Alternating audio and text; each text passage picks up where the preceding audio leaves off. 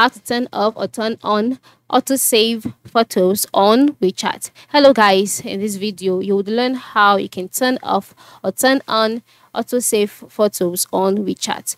The first step of course is to launch the WeChat application on your device and once you're on the chat page, move to the lowest part of the screen where you can see options like chats, contacts, discover, me. Click on the me icon so once you've done that, you'll be brought to the profiles page. On this page, move to the lowest part and click on settings. On the settings page, you can see other options like account security, guardian mode, easy mode, message notifications, chats, general, friends permissions, etc. Just go ahead and click on general. On the general page, you can see other options, right? Like dark mode like um, landscape um, display etc. So just scroll down and click on photos videos files and calls.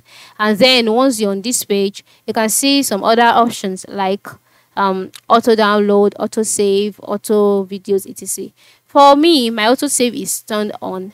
To know if it's turned on the toggle here would be green. All right would be green so to turn it off just tap on it this way and then once it turns black it shows that it has been turned off. To turn it on, click on click on um the toggle, turn it off, click on it and it will be turned off. And just like that, um these settings would be affected.